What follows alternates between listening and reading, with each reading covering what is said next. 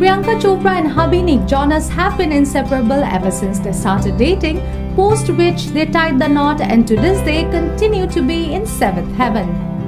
Now, according to the latest grapevine, Priyanka Chopra, an international icon and a Hollywood actress herself, may very well join hubby Nick Jonas and his band, the Jonas Brothers, for their Happiness Begins tour, which will be in the United States.